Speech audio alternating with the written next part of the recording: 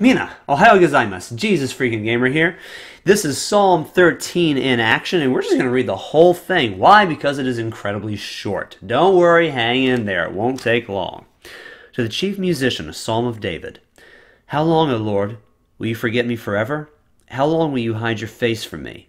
How long shall I take counsel in my soul, having sorrow in my heart daily? How long will my enemy be exalted over me? Consider and hear me, O Lord my God.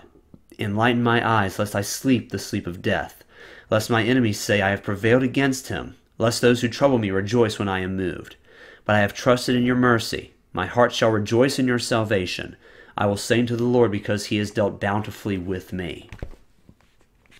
So it sounds kind of typical a cry for help, uh, a plea to God for saving, something we've probably all done in times of duress. Probably some that aren't even Christians or believers in any kind of God. Probably have shot up a prayer somewhat similar to that in the past. Again, I think we all have. Now, the big question is like we know, we know that David, we know that David's prayer was answered. We see, if you read in the book of Second Samuel, well, and First Samuel, I'm sorry, in First and Second Samuel, and the book of First Chronicles, as well, we see God's provision and hand in David's life over and over and over again. But here we see, or, or rather, I should say, what we need to realize is that David prayed this prayer from a place of need. Probably not from a place of want, considering he was a king, and before he was a king, he was a warrior. Before he was a warrior, he was a shepherd who had to deal with sometimes very deadly animals. So his life was in literal danger multiple times throughout his life. When he prayed a prayer like that, it was probably not from a position of want. It was from a position of need, or at the very least, perceived need. He needed God's help, he needed God's answer. We see a life that's just blessed. We see a life that's, you know, just full of God from beginning to end. But we need to remember that when David prayed that prayer, he didn't have the victory yet. He was getting to the victory.